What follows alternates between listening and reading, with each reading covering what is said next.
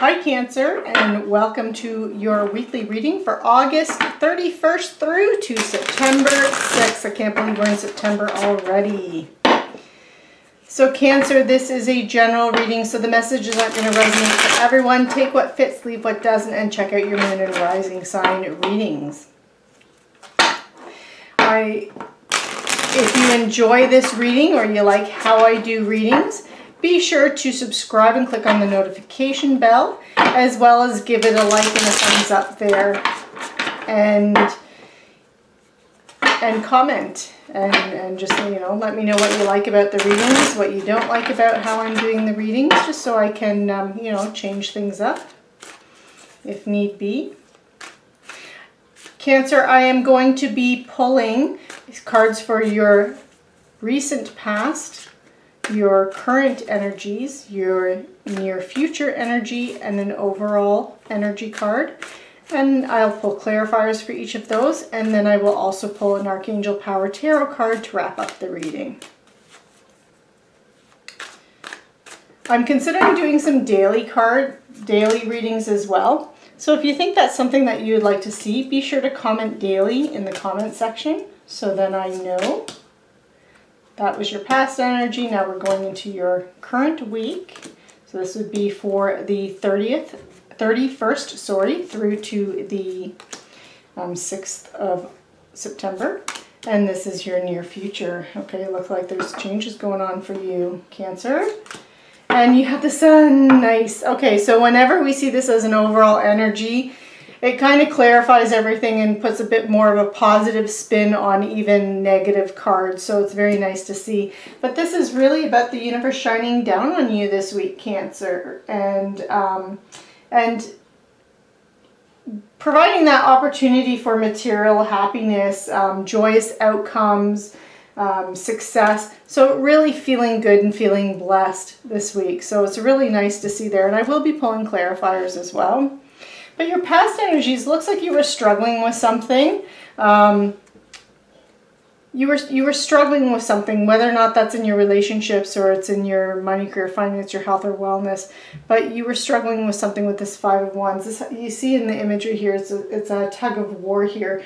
Um, I feel like it was in a bit of an internal struggle. Um, on some kind of decision or move to make or could, and and I feel like it was related to the 6 of cups this past energy. So perhaps someone from your past has reconnected with you or contacted you or you've been thinking about someone from the past. It could even be a situation from the past. So for some of you, this could even be a place where you once upon a time used to work. And um, there could have been some kind of offer or opportunity related to that that has been presented to you again. Or again, an old flame coming back as well. An ex could be coming back as well. Or it could just even be someone that you haven't heard from from a long time. So some kind of like reunion with an individual. Um, and I feel, but I feel like it's created some kind of conflict for you. And I feel like this is, I, I'm really getting the sense for not all of you, but for some of you, this is emotional conflict that created some kind of tension or emotional conflict for you.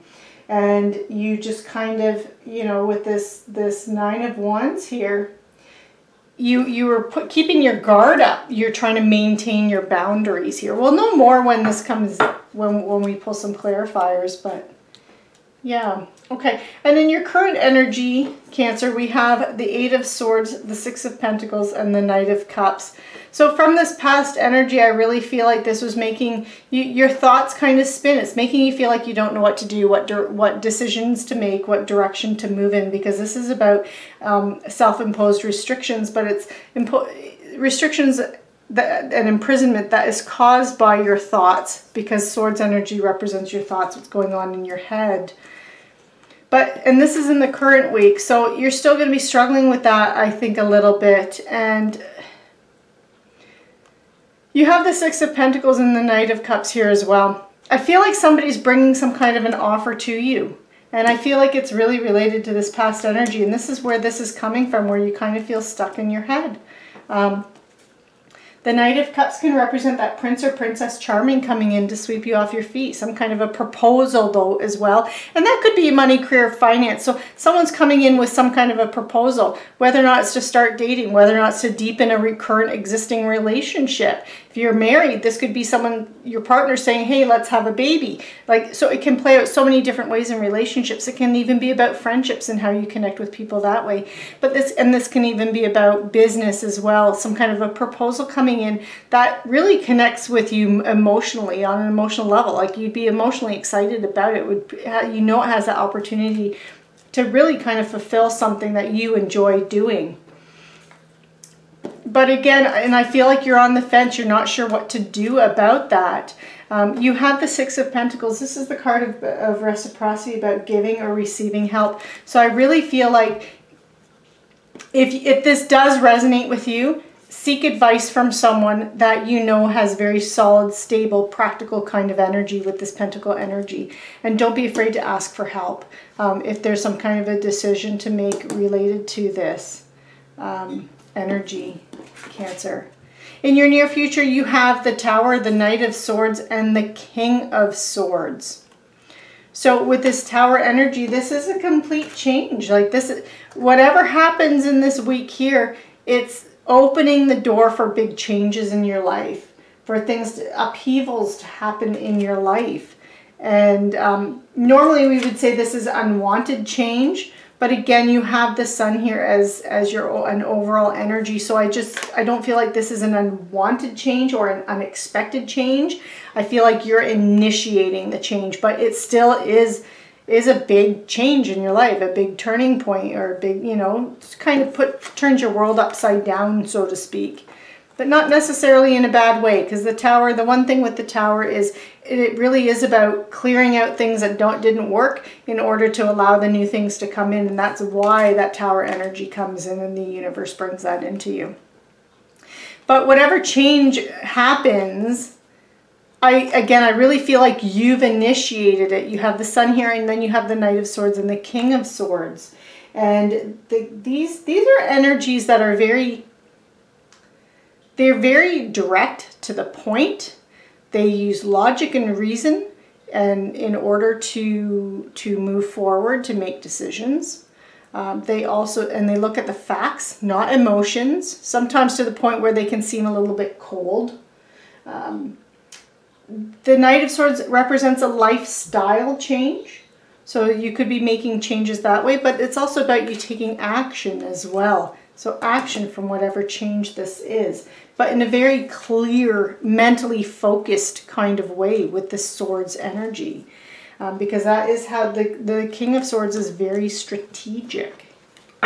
So Cancer, I'm going to start pulling some clarifiers for you and see if we can get a little bit deeper into this.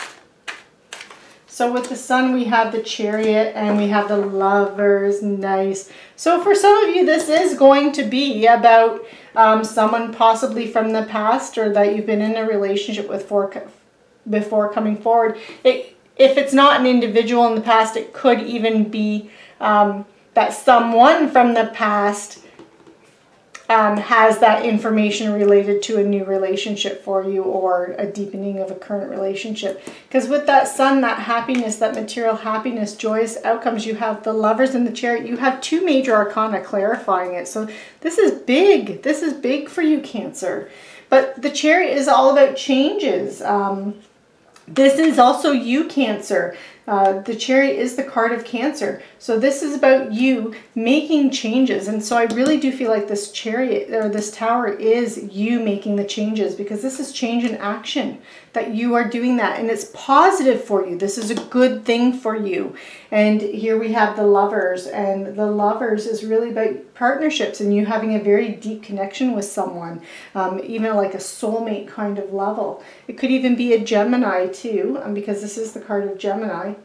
But it's also the strength of two people together. Um, so this can also just be about deepening your partnerships, your networking. So if this isn't romantic, this can be a business partnership. This could be you need to involve someone else. That Six of Cups, you, Pentacles, sorry, Six of Pentacles. You may need to involve someone else in order to make changes that you want to take in your life. Lovers can also represent a choice. So some kind of a choice, and that choice would be for that action and change the direction you're going to go in. And it is being blessed by the sun.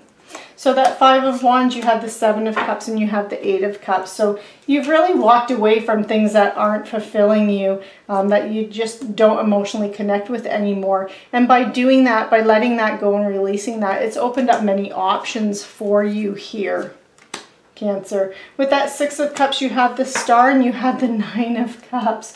So the Six of Cups, whatever this is, you know, this reunion or this, whatever this past energy, this nostalgic kind of energy, it's, you know, it, it has with it that, that feeling of wishes coming true and you being able to create that emotional abundance in your life. It's not just emotional abundance true, too, it's also material abundance. And it's given you renewed hope and faith with this star card and, and optimism and believing that you can achieve your dreams. Um, again, whether or not that's related to your career or that's related to relationships. That Nine of Wands here, you had the Three of Cups and you had the Ace of Cups. So I feel like this energy is also helping you to let go. Again, I felt like this energy was you having your guard up because this is a card about persistence and boundaries and creating, establishing boundaries. But I really feel like you, um, you're letting that down because you have, you're letting your guard down um, because you have this opportunity here for emotional satisfaction and contentment. So aces are always new beginnings, new opportunities, new paths, new doorways that open for us. And being an ace of cups, a lot of times we look at this as a new baby, a new relationship, a, or a next stage in a relationship. So it could be going from single to a committed relationship, a, a proposal, a marriage. Uh, so it's that next stage or next opportunity. If this is about career, this could just be an opportunity in the career sector that or some kind of project that comes in that almost feels like a new baby, like you're excited about it. It um, gives you that opportunity to really emotionally connect with what it is that you do, and you're really celebrating that Cancer. With this Eight of Swords, we have the Eight of Pentacles and we have the Queen of Cups. Okay.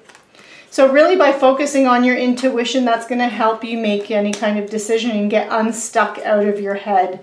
It's also going to kind of heal any conflict that you have going on internally. And it's going to encourage you by connecting with your intuition and your emotions. It's going to encourage you to um, have this worker bee mentality. This is about you really enjoying what it is that you're doing and you're taking that new direction. So this again could be about relationships and letting, opening up your heart and healing your heart from past energies and especially if this was someone from the past, um, kind of healing any wounds that could have been related to that individual. And now, um, and not rushing into things though with this this eight of pentacles because this is about slow and steady wins the race. This is really about enjoying what it is that you're doing. So this could be your career as well or some kind of project you're working on. But it, with relationships this would be about you putting the dedication and time into something really honing it fine tuning something some kind of thing that you're working on to make it a wonderful thing that has the potential for longevity and sustainability now with that Six of Pentacles, we have the Page of Wands and we have the Two of Cups. Okay, another card of partnerships. Um, and again, for some of you, this giving and receiving, I really felt like this was a, um, well, it could be, op again, opening up your heart, letting people in, or if you needed help in making some kind of a decision, it was seeking the advice from someone, asking for help, because you, that help will be there for you. But it could just even be about relying on other people too. And you have that Two of Cups, which is again a deepening of a relationship. So romantic love, a partnership, a proposal, a marriage, same kind of energy as that, that ace, but it's now the next step, next stage. So again, this for some of you, this is going to be about romantic love, but this can also be just about relationships with others too, whether or not that's in business or just your personal relationships. And but you'll be receiving some kind of message or news or information. And again, if you're asking someone from, for help, this is information that is coming in. And this is, it really inspires you. It either inspires your passions if we're looking at relationships, or it can, if we're looking at some kind of a new project or new job thing that you're working on, this can represent um, creativity and that kind of inspiration. So you're really inspired to create and you can tap into that kind of energy, Cancer. With that Knight of Cups, we have the Queen of Swords and we have the Knight of Wands.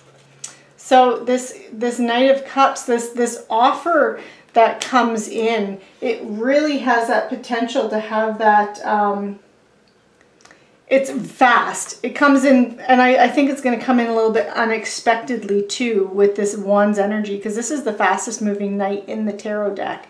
The knights are the doer, the action-oriented cards of the tarot deck. And this is all about passion. So really being swept off your feet. So whatever, whatever offer this is, whether or not it's your career, whether or not it's relationships, it really has this passion energy, this fiery energy to it. And it's being clarified by the Queen of Swords, and I feel like this is your energy, Cancer, that you're really trying to look at things in a very logical, reasonable kind of way.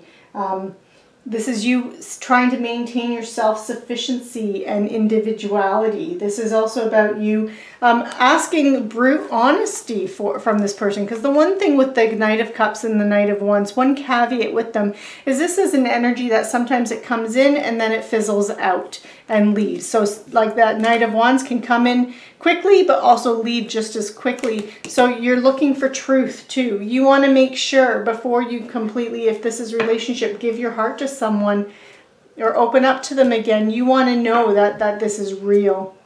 And I feel like that's what that Queen of Swords is. With this tower, we have the King of Cups and we have the Ace of Wands. Again, fiery opportunity. Um, so something that you're very passionate about. So this can be a desire to create something. So creating a relationship, building a relationship, or creating something that some kind of new project. But you're very inspired here. And you're approaching this also from a very emotionally mature standpoint here with this King of Cups. You're being tolerant, you're being supportive, you're being empathetic here. Um, and you're but you're also listening to your intuition too. With this Knight of Swords, you have the Ten of Pentacles and you have the Seven of Wands. So whatever this lifestyle change is, you may feel like you need to defend yourself, like self-defense here. This is a card of self-defense and protecting yourself. But I feel like this is from people, especially if this is someone that you were involved with in the past or even going back to an old former career, you could have people around you questioning like, well, you left that once, why are you going back now? And I feel like this is you actually defending your position that way.